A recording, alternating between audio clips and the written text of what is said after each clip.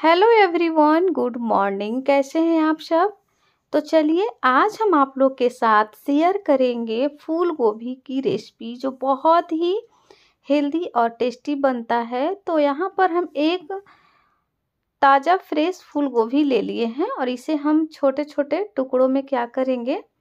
Cut कर लेंगे और आज हम फूल गोभी का कोफ्ता बनाएँगे, जो बहुत ही टेस्टी बनता है और ख़ास कर का करके ठंडी का मौसम में फूल गोभी एकदम से ताज़ा, फ्रेश मिलता है तो कोफ्ता बनाना तो बनता है।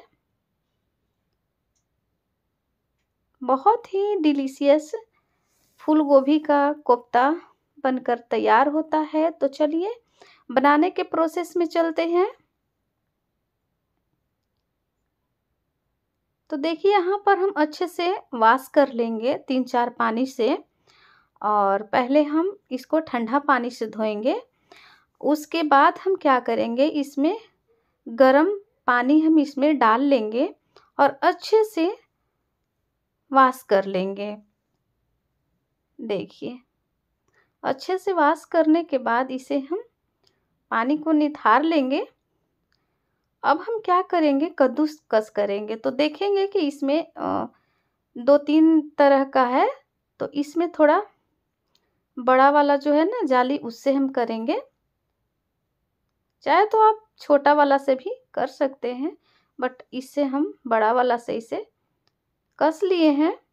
देखिए।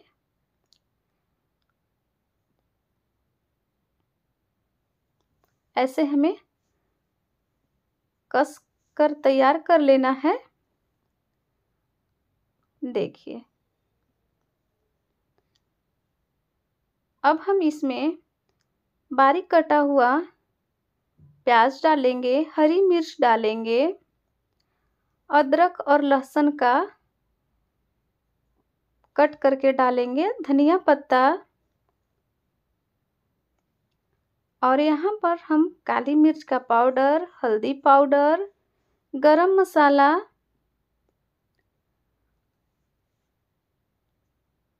सभी को मिक्स कर लेंगे। यहाँ पे काश्मीरी लाल मिर्च ऐड किए हैं एक चम्मच। और यहाँ पर हम बेसन लेंगे।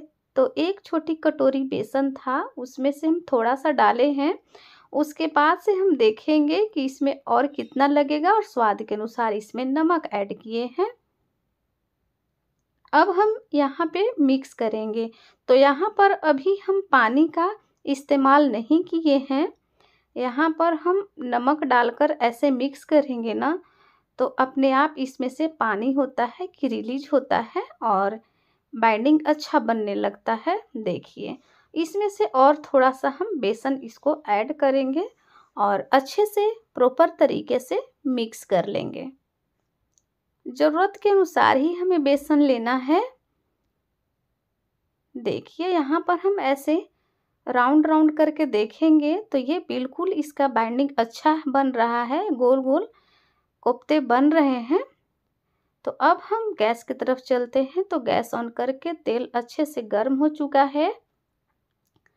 और बारी बारी से एक एक कोफ्ता इसमें हम डालते जाएँगे और कोफ्ता को हम तल लेंगे।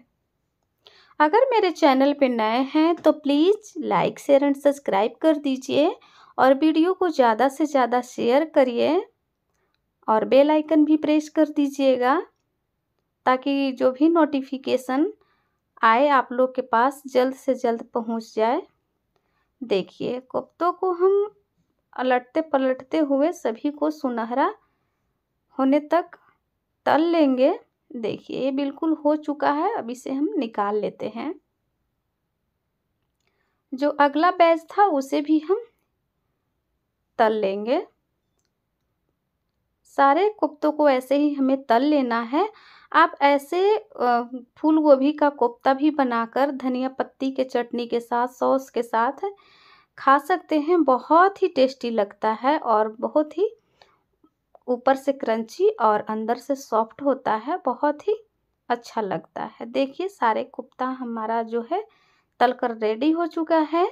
अब हम आगे के प्रोसेस में चलते हैं। तो ये, यहाँ पर हम तेल डालकर इसमें जीरा, लौंग, इलायची और दालचीनी डालकर प्याज और टमाटर को हम भून लेंगे और थोड़ा सा इसमें आठ दस काजू डाले हैं और दो मिर्च डाले हैं। इसको मीडियम टू लो फ्लेम पे पकने देंगे। बाद में इसे हम प्यूरी बनाएँगे। देखिए, यहाँ पर हम थोड़ा सा इसमें नमक ऐड किए हैं ताकि टमाटर जो है और प्याज सॉफ्ट हो जाए। देखिए, बिल्कुल ये पक चुका है। अब हम एक मिक्सी जार लेंगे और उसमें इसको डालकर दो तीन चम्मच जितना पानी डालकर इसको प्यूरी बना लेंगे। देखिए, कुछ इस तरीके से हमें प्यूरी बना लेना है।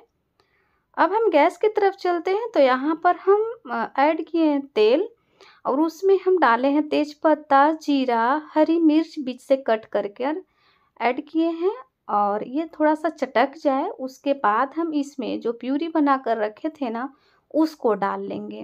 पहले हम मसाला इसमें नहीं डाले हैं।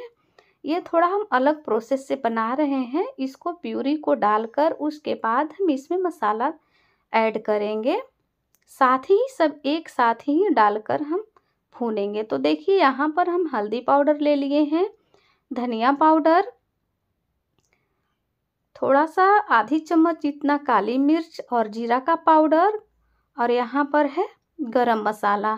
सभी को हम एक ही बार मीडियम टू लो फ्लेम पे धीरे धीरे इसे हम पकाएँगे तो हमारा जो कोफ्ता बनेगा बहुत ही टेस्टी बनेगा। पहले भी मसाला भून कर तेल में हम बाद में प्यूरी को ऐड कर सकते थे, बट यहाँ पर हम एक साथ ही किए हैं और यहाँ पर हम ले लिए हैं काश्मीरी लाल मिर्च, एक बड़ा चम्मच, इससे कलर बहुत ही मस्त आता है। और देखिए, बहुत ही अच्छे से इसको हम भूनेंगे ताकि इसका बिल्कुल टेस्ट अच्छा आए और इस बात का ध्यान रखिएगा कि मीडियम टू लो फ्लेम पे ही हमें मसाला को पकाना है। देखिए, इसमें से पैन जो है, तेल को छोड़ दिया है। तेल इसमें से रिलीज़ हो गया है। अब हम क्या करेंगे? पता चल गया कि मसाला हमारा भून चुका है तो इसमें अब हम ज़रूरत के अनुसार पानी ऐड करेंगे। तो देखिए, यहाँ पर हम एक कटोरी जितना पानी ऐड किए हैं थोड़ा सा पानी इसमें और जाएगा और इसको हम पकाएँगे। तो यहाँ एक उबाल आ चुका है और इसमें हम नमक डालेंगे। तो स्वाद के अनुसार एक छोटी चम्मच हम नमक डाले हैं क्योंकि नमक हम पहले भी यूज़ किए हैं, जैसे कोफ्ता में भी डाले थे और टमाटर और प्याज पकाते समय भी डाले थे। तो स्वाद के अनुसार यहाँ पे हम नमक ऐड कर देंगे।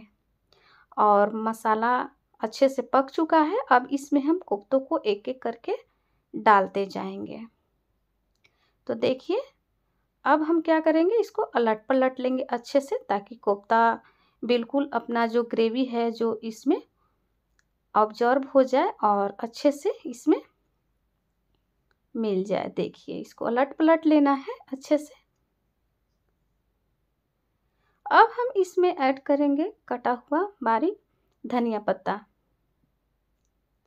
अब इसमें हम डालेंगे कसूरी मेथी, जो बहुत ही स्वाद इसका अलग आता है और टेस्टी लगता है। तो बस कोफ्ता बनकर तैयार है, इसको अब हम ढक देंगे और बस सर्व करेंगे एक दो मिनट बाद। देखिए तो एक अब बाउल में हम इसे सर्व कर रहे हैं। तो देखिए, कलर बिल्कुल ही मस्त आया है।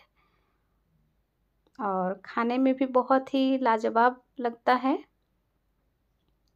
टेस्टी बनता है। तो मेरे बताए गए अनुसार से एक बार फूल गोभी का कोफ्ता ज़रूर बनाइएगा और कमेंट करके ज़रूर बताइएगा। Thanks for watching. Take care. Bye bye